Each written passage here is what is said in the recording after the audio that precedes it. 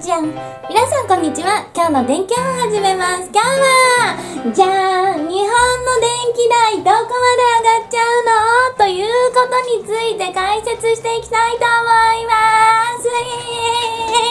エーイ。はい。ということでですね、日本の電気代どこまで上がっちゃうのっていうのがあると思います。で、あの、電気代に上がっておりまして、今後も上がっていきます。そして、えー、っとね、なかなかね、下がることはね、ないかと思うんですね。で、そのね、なんでこうなっているかってことと根拠についてね、今日はね、えー、ちょっと、根拠のね、えー、データを示しながらね、ちょっと一回解説してみたいと思います。はい。ということでですね、電気代なんですけれども、まあ私たちがですね、はい、えー、どこ目安にすればいいかっていうとこなんですけど、まず1個ですね、私の大好きな JPX。これね、目安にしてほしいなって思うんですね。で、えっ、ー、とね、JEPX って、え、検索すると出てくるんですけれども、はい、日本のね、えー、電気が、え売買できる市場なんですね。まあ、唯一の市場です。で、こちらでですね、小売電気事業者さん、発電事業者さんが電気を下ろして、小売電気事業者さんが買うみたいな、電気のね、市場なんですけれども、はい、そこのね、値段をね、参考にしていただければと思うんですね。で、これね、明日もなんですけれども、まあ、あのー平均でだから30円ぐらいなんですよ。これ結構高くて、あの前はですね、2年前ぐらいとかであれば、この春とか秋のね、電気あんま、エアコン私ももう使ってないですけど、今、そういう時期って電気安くて、平均でね、まあ10円切ってるような感じだったんですね。エリアにもよるんですけれども、ただね、まあ全国的に、まあ九州とかね、ちょっと関西の方はまだ安くて平均20円ぐらいなんですけど、東京とか北海道平均30円ぐらいになってます。で、最低価格でも15円、最高価格で40円ということでね、この時期にしては結構高いんですね。っていうようなのが普通になってきちゃってるんです。ということでね、これね、もうなんでかっていうところからね、まずちょっと見ていきたいと思います。で、まずね、なんで電気代高いんですかっていうところなんですけど、まあこれ2年前ぐらいからね、ガッとね、電気代上がったわけですね。はい。コロナ禍の時、一時期、一時的にね、だか3年前ですよね。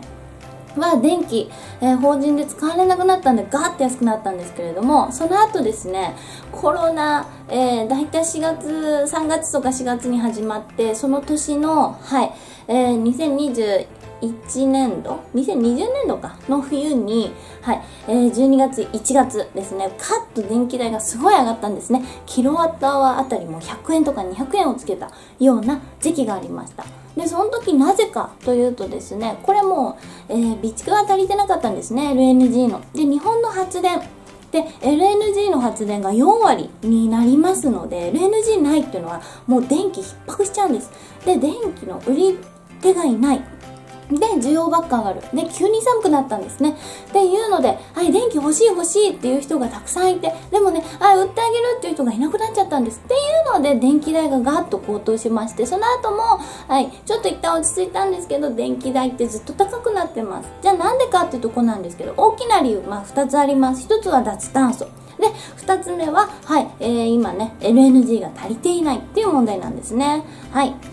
で、まあ、ちょっとね、まずね、これ見てほしいんですけど、えー、これね、はい、えー、LNG の価格。日本はですね、長期契約をしています、大体。なので、あの、スポット市場ね、LNG ありますけれども、まあ、そこの価格というよりは日本向けのね、LNG の価格っていうところになってきます。で、ロシア・ウクライナ戦争始まってね、やっぱり、えヨーロッパへの、えロシアからの LNG 出ししぶりであったりとかね。で、あと、これね、ロシア・ウクライナ問題の影響もあるんですけれども、あの、中国もね、脱炭素始めました。で、LNG 使い出したんですね。で、今までって日本向けの LNG がほとんどで、日本って LNG 輸入量って実はね、最大級だったんですけど、そうじゃなくなってきたと。他の国でも取るようになってきた。っていうので、取り合い、もう全世界で取り合いが始まりました。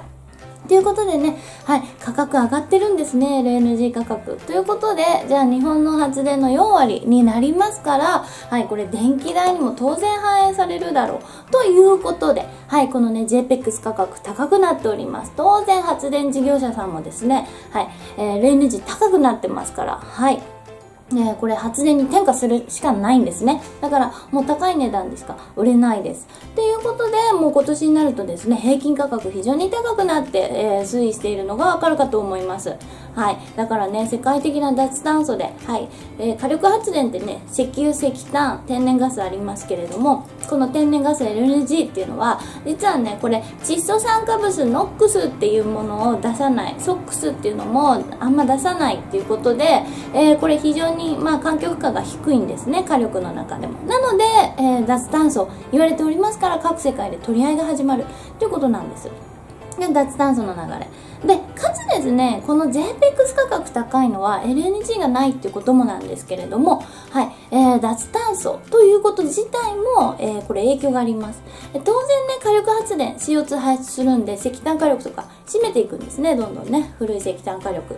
で、その分をじゃあ再エネで賄おうとするんですが、再エネってね、はい、気分屋なんです。天気とかでね、はい、風力だったら風吹かないと発電しない。太陽光晴れないと発電しない。ということで、これね、雨の日とか曇りの日。だからね、明日も JPEX 価格、えー、平均的に高いんですけど、これ晴れじゃないんですよね、明日とかもね。だから、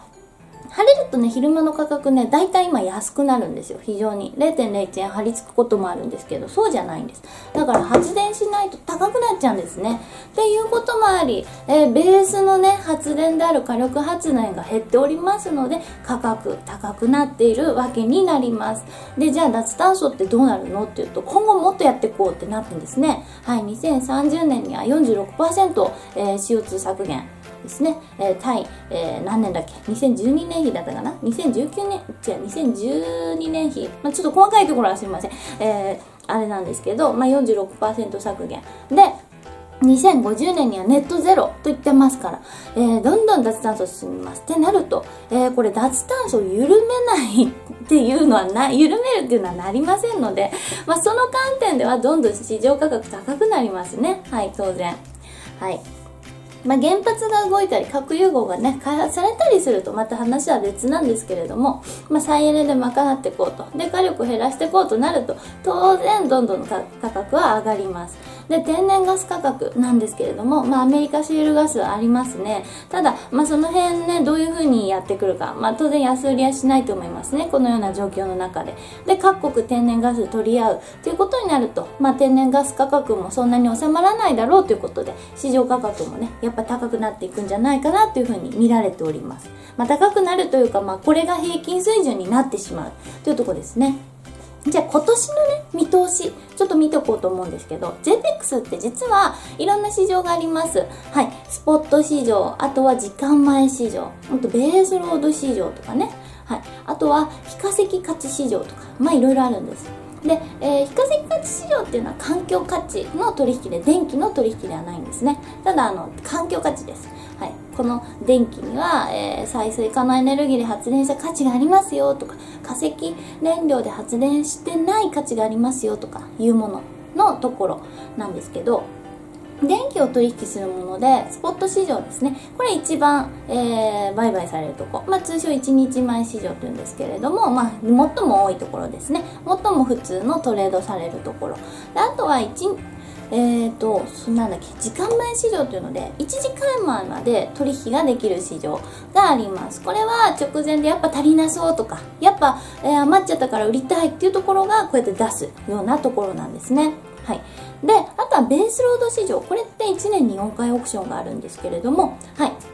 まあ、長期でね契約ができるわけです。1年分の調達とか。っていうのがベースロード市場になります。でこのベースロード市場っていうのがですね大体、えー、小売電気事業者間の相対電源の取引のえー、目安にされたりするわけですね。あとまあ先物とかねあの他にトコムでやってるんですけどまあその辺の価格も参考になってきます。でじゃあベースロード最新のものいくらだったかっていうと約定日9月30日。最近ありました。でこれ北海道は約定なかったんですね。はい。で東京に関しては37.67円で約定されてるんです。だからこれが水準になるってことなんですね。大変なことです。で関西も25.11円。ということで、まあ、これが水準になるだろうということなんですね。これ結構価格高いですからね。ベースロードなんで24時間平均相当みたいに考えてもらっていいです。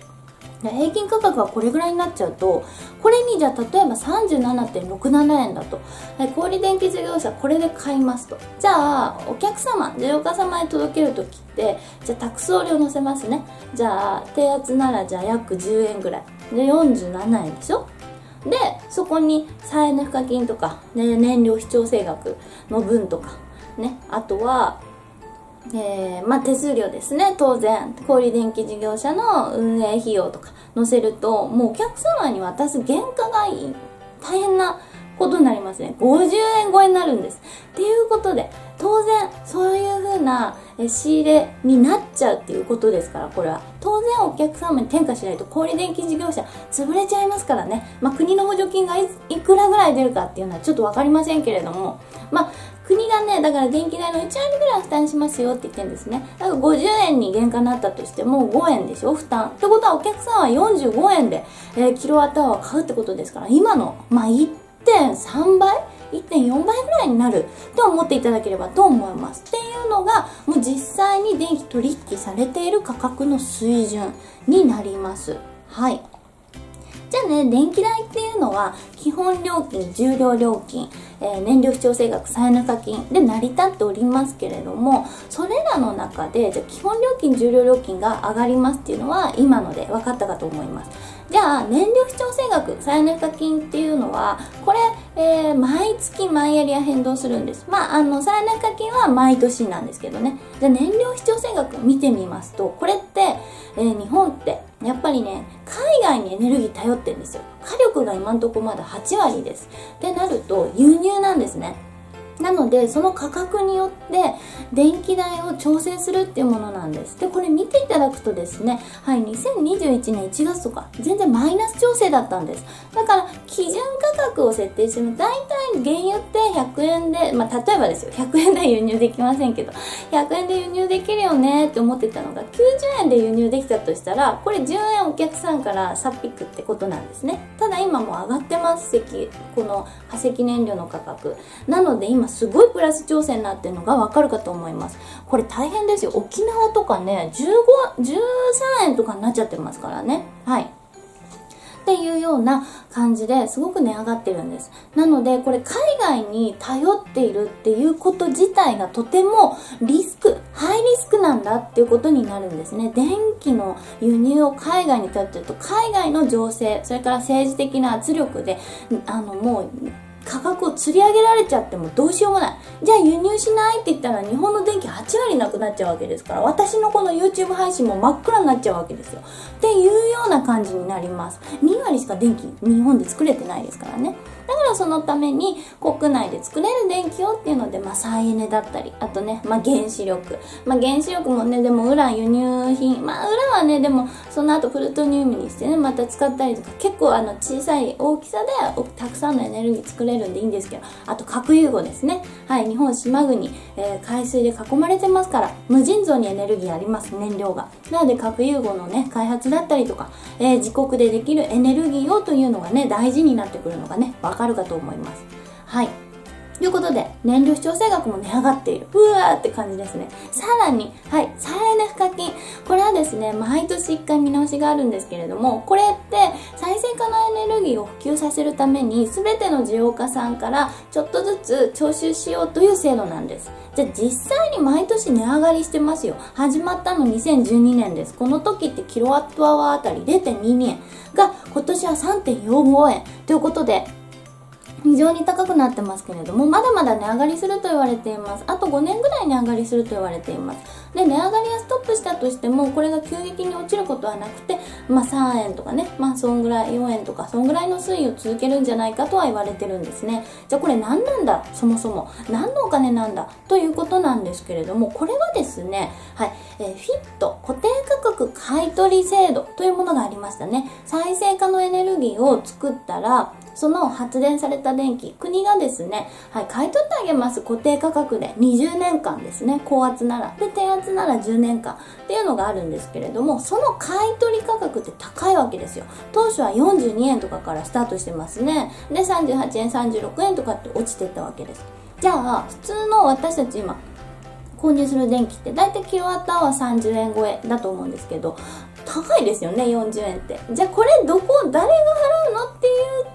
私たちから回収しているこの再エネ賦課金で賄われてるんですね。ってことは、このフィットの認定されている発電所の発電量が増えれば増える限り、このフィットに払うお金増えますから、これ増えるんです。なのであと5年ぐらいまだ再エネ課金の単価って上がるだろうって言われてます。はい。まだね、フィットの発電所、えー、稼働していないものもあり、稼働して、えー、最長期になるともっと高い値段になるよっていうことなんですね。はい。ね、ではね、こういう意味で、えー電気代上がっていきますよ。まだまだ上がりますよっていうこと分かったかと思います。じゃあ実際にですね、小売電気事業者さん、えー、今700社ぐらいいますけれども、まあ、大きく分けて新電力とみなし小売電気事業者に分けられます。これ何かというと、みなし小売電気事業者っていうのは東京電力、中部電力、関西電力みたいに元大手の会社ですね、のこと。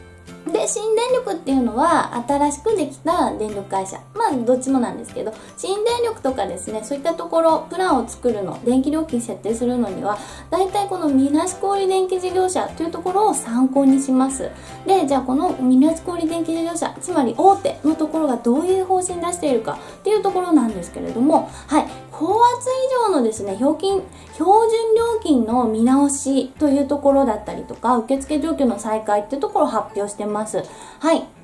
で、今ね、どの会社も市場連動プランで受付は、えー、しますよっていうことになってるんですね。で、標準料金の見直しというのは、今までね、重量、えっ、ー、と、重量電灯じゃない、高圧なので、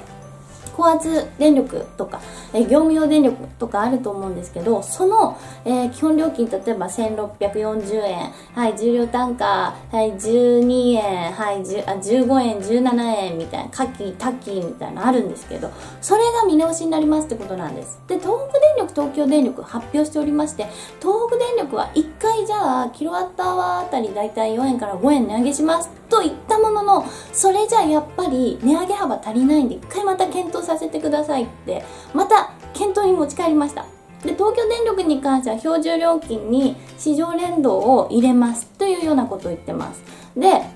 この燃料費調整額の基準単価上げてます。なので、重量料金単価も実は上がってるんですね、結構。まあでも、燃料調整費単価の基準額上げてるんで、燃料費調整額はおそらくちょっと下がるとは思うんですけれども、はじめ。ただね、重量料金単価もちゃっかり上がってるんですね。というようなことが起こってます。で、他の他社についてもですね、今まだ標準料金見直しは、うん、するんだけど、細かいことは決めてないよといった状況。で、新規受付は、えー、市場連動プラン以外はしてませんよっていう感じなんですね。で、あと低圧のメニュー。家庭用に関してはですね、このみなし小売電気事業者っていうのは、規制料金、自由料金っていうのがあります。規制料金は自由電灯 ABC。で、自由料金は東電さんだとスマートライフプランとか、あとね、この横文字のプランです。はい、自由化になってからこっちの重量電灯 B とかよりちょっと安くなったプランっていうのがあるんですね。これが自由料金と言います。この規制料金に関しては今変わらないんですけど、自由料金は燃料費調整額の上限が撤廃されます。なので、先ほど見た燃料費調整額っていうのがね、バーンと上がってってしまうんですね。規制料金はまだ上限があるので、燃料費調整額は上限がある。だから、まあ、採算高上がるっていうことは今んとこはないんですけれども、まあ、この辺もちょっとどうなるかっていうのがわからないところになってます。はい。まあ、どっちにしろなので、高圧ですね。高圧のお客様、電気をたくさん使うお客様に関しては、もう絶対に電気代が上がっちゃうっていう状況なんです。まあ、最終保証約款もですね、9月1日から市場連動になってますから、もう、えー、契約するとこがないってお客さんが入るとこなんですけれども、その最終保証約款も市場連動。なので、もう電気代情報、上昇を回避する方法っていうのが高圧に関してはない状況です。はい。じゃあそんな時どうすればいいのっていうとこなんですけど、やっぱりね、自分で電気作るっていうところが大事になってきます。なので太陽光入れたり、さらには蓄電池導入したりですね、あと省エネしたりっていうところが非常に大事になるんですね。あとはまあ、あの、自国で大きく日本でって考えた時、やっぱりですね、エネルギー自給率の問題から化石燃料に頼らない。再エネなり、原子力発電ですね。あと核融合なんかね、そういったところをね、しっかりとね、やっていければと思います。私もね、まだ電力人生長いですから、この後。いろんなことにね、チャレンジしていってね、日本でエネルギーを作れる方法、えー、頑張って考えていって、私もね、どんどん実行していきたいと思います。はい、核融合なんか今大注目ですね。はい。ということでですね、今日は、えー、日本の電気代、一体どうなっちゃうのということについてお伝えしました。はい、今日の電気終わりにします。皆さん今日もいってらっしゃい。いや、ちょっと今年の電気予報しちゃったな、今日は。